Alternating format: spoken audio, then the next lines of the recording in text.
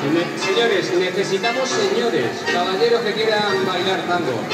Ahí tenemos cuatro o cinco jovencitas que están súper encantadas de enseñarles a los caballeros que quieran aprender un poquito nada más. Esto es muy fácil.